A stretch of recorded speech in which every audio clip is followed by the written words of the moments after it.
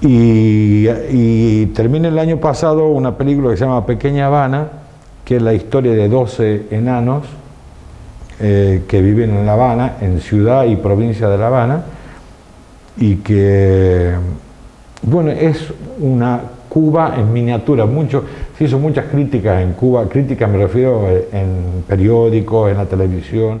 Había un enano arriba de una moto que yo creía que la moto venía andando sola. Yo pensé que, había tomado ron de mar y, no, eh, venía un enano arriba de la moto porque no lo veía el enano y bueno, ahí hasta que lo encontré, hasta que lo busqué y dije, bueno, esto no es para hacer una cosa así, un cortometraje, sino es para ahondar un poco más en esta historia y en el cine Chaplin donde hay eh, 6.000 personas y estuvo llena y estuvieron todos los enanos allí estuvo el ministro de Cultura, eh, bueno, etcétera, todo, todo, toda la cultura de, Cuba, todos los amigos, todos los familiares de los, y toda la escuela de cine y todos los espectadores que quisieron ir, y bueno, se hizo y se pasó, estuvo, obviamente, estuvo, participó en el festival, como participó, no, no, no es, es una película absolutamente humana donde hay humor, donde hay tristeza, donde hay alegría, donde hay llantos, donde es la vida,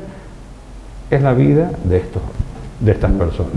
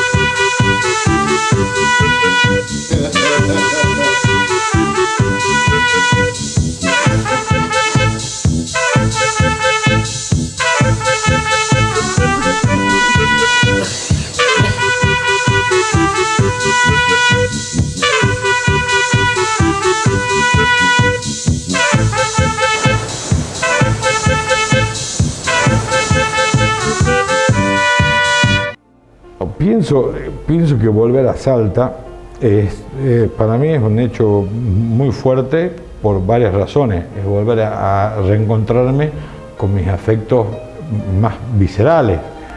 Eh, la familia, los amigos y, este espacio que salta, ¿no? que, es, mi ciudad y en mi provincia y que la anduve, la viví. Esta es una provincia privilegiada, donde tenemos todas las posibilidades para hacer, y fundamentalmente humanas y segundo geográficas.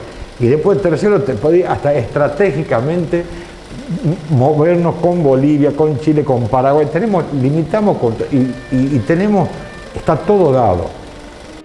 Decía, decía el, este, el maestro Coppola, el arte nunca duerme. Y Birri decía, pero sueña con los ojos abiertos.